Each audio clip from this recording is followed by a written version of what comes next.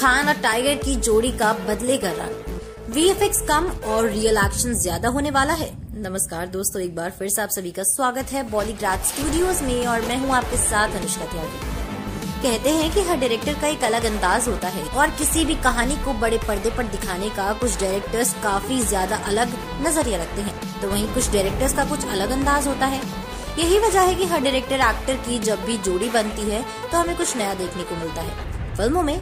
और कुछ डायरेक्टर्स और एक्टर्स की जोड़ी तो इतनी कमाल की होती है कि फैंस बार बार उनको देखना पसंद करते हैं। तो दोस्तों, आज हम बात कर रहे हैं एक ऐसी ही डायरेक्टर की जोड़ी की, जिन्हें फैंस कभी कभी पसंद करते हैं। तो कभी कभी फैंस हो जाते हैं उनसे नाराज़। ये जोड़ी है अहमद खान और टाइगर श्रॉफ की। आपको बता दें कि अहमद खान, जो कि आजकल काफ़ी ज़्यादा फ़िल्मों को डायरेक्ट कर रहे हैं और अपने एक्शन को लेकर खासकर जाने जाते हैं, और यही वजह है कि कभी कभी उनके एक्शन सीक्वेंसेस कुछ ज़्यादा लगते हैं। और वो अहमद खान ने सीरीज़ को इतना पसंद नहीं करते, लेकिन जो अहमद खान की जोड़ी बनती है, टाइगर श्रॉफ के साथ तो वो दोस्तों उन्हें काफ़ी ज़्यादा पसंद आती है।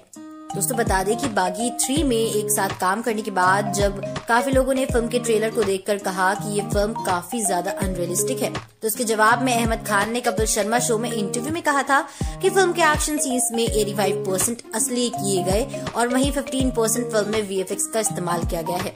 लेकिन दोस्तों, इस सब के बावजूद जब बागी थ्री रिलीज़ हुई तो फैंस ने इसे उतना प्यार नहीं दिया।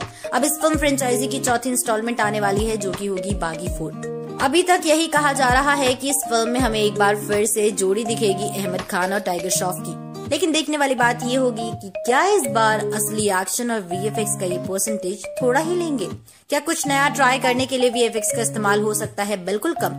या फिर वीएफएक्स को ज़्यादा इस्तेमाल करके इस परसेंटेज को करना चाहेंगे चेंज दोस्तों, बता दें कि देखने के लिए हमें थोड़ा सा और इंतज़ार करना पड़ेगा। आपको बता दें कि बागी फोर को काफ़ी बड़े लेवल पर बनाया जा रहा है। साथ ही इस फ़िल्म को देखने के लिए लोगों के बीच भारी एक्साइटमेंट और जोश भी देखने को मिल रहा है। अब जब भी ये फ़िल्म थिएटर्स में रिलीज़ होगी तो क्या धमाका होगा ये तो फ़िल्म के रिलीज़ के बाद ही पता चलेगा। आप लोग बने रहिए हमारे साथ और देखते रहिए बॉलीग्राज स्टूडियोज को। हम फिर हाजिर होंगे एक नई वीडियो के साथ में। हमारी आज की राइटर है सान्या भार्गव।